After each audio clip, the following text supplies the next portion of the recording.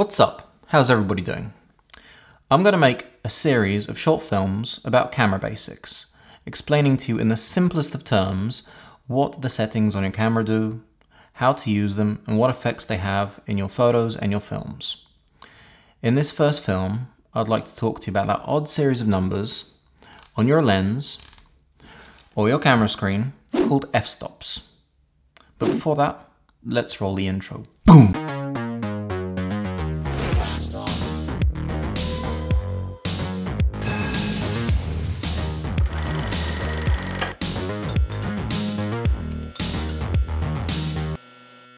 Your image is made up of three very important basic settings. This is the first one I'd like to talk about, mainly because it's my favorite one. It's the one I use most to manipulate how the viewer sees my work. Now these three settings, they exist together as one. If you take one away, then the image ceases to exist. An f-stop is a setting on your camera that determines how much light is coming through the iris of your lens onto your film or onto your sensor. The iris is made up of a series of blades that open and close, creating a smaller or larger hole. It's what we call the aperture. It helps us achieve two things. It makes the image lighter or darker. However, it also changes how much of that image is in focus. If we take a quick look at the dictionary, this is what it says. Aperture, an opening, hole or gap. A space through which light passes in an optical or photographic instrument, especially the variable opening by which light enters a camera. The f-stop scale is a geometric sequence of numbers, the sequence of powers of the square root of 2. This may sound complicated, and I don't think any cinematographer or photographer actually remembers that. So let's make this a lot simpler for you to wrap your head around. Sometimes you might be asked, what aperture did you have when you took that awesome portrait? Other times somebody might ask you, what f-stop are you using? It's basically the same question. Another example is if you go to your local camera shop and Alan behind the counter asks you, do you want a fast lens? What this refers to is the f-stop. The bigger the hole or aperture, the faster the lens. What this generally means is it performs better in low light situations because it needs less time to capture more light. As a rule of thumb, the faster the lens, usually the more expensive it is. However, Nikon, Sony, Canon, they all make nifty they all make nifty 50s. The f1.8s, which is a pretty fast lens, now, if you're looking for something faster like a f1.4, f1.2, or even something totally insane like f1, you're going to have to think about remortgaging your house because they get ridiculously expensive. When I started photography, all I could afford was a f4, f5.6. Those were pretty slow lenses, especially in low light, but I did what I could and saved up enough money so I could buy something that was f1.4. If you have a big aperture, it's usually referred to as being wide open, so the hole inside your lens is very large. If you have a small aperture, the hole inside your lens is tiny. However, the tricky part is the f-stops, which is really just the scale we use to measure the opening of the iris. If you have a big aperture, the f-stop will be small, like 1.8. Now if you have a small aperture, the f-stop will be big, like f22 for example. Once you get to grips with the f-stops and shutter speed, going manual is really, really simple. Fun fact, the f-stop of the human eye varies from 8.3 in very bright sunlight to 2.1 in the dark. It's pretty cool, huh? These are usually the f-stops you'll see on your lens or on your camera screen. These are the most common f-stops there are, however, numbers in between them, which are half stops and third stops. If you go up by one, you're basically doubling the amount of light coming into your lens.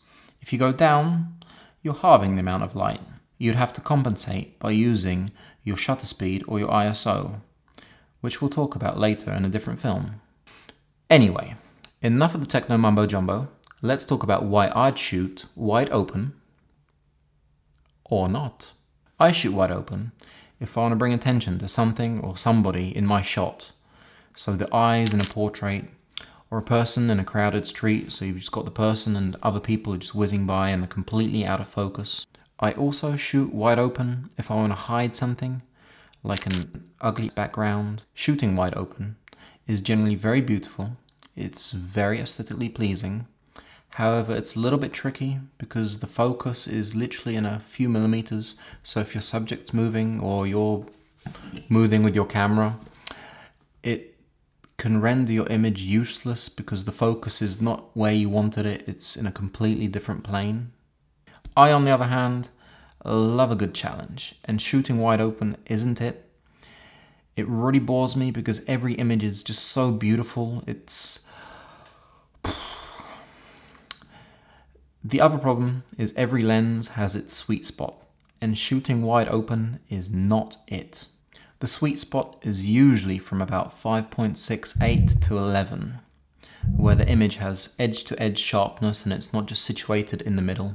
It's surprising, but you'll actually find f8 to be sharper than f16 or f22, and that's all down to the sweet spot of your lens. Closing down my aperture to about 5.6 forces me to think about what I'm doing and not only concentrate on my subject but also on the foreground and the background of my photo. It gives your photos that extra little few layers of funkiness. If you've been shooting with auto and you'd like to experiment more with aperture to give your image a little bit more zoom, give you a little bit more control, then all you have to do is switch your dial to AV or A, and that's aperture priority mode. In this mode, all you have to worry about is aperture. The other two main settings are still in auto, so you can experiment as much as you want with your f-stops and you don't have to worry, stress out about having a badly exposed image. If I'm shooting with a friend and he says, Yo Phil, let's go up a stop. I think I just spat on the camera. That means let's open the aperture up. Now if he goes, Yo Phil, let's close it down. That means we're going to make the aperture smaller. So we're going, for example, from f5.6 to f8, f11. If I'm shooting a portrait and I want those eyes to pop, I'll be shooting at 1.4 so the eyes will be just in focus and everything else will be out of focus. Now, if I'm shooting at a beach and I want that lighthouse four miles down the road and the sand by my feet to be in focus, I'll drop all the way down to say f16, f22. Some lenses, they go even down to f32. That'll make sure that everything will be in focus. Depth field. So the area of your image that's in focus. This is what f-stops are all about. When we say shallow focus, then that means that only the petals on the flower you're photographing in the park will be in focus. When we say deep focus, then not only the petals, but the grass in front of it, the trees behind it, and quite possibly even that Rottweiler running towards you in the background will be in focus.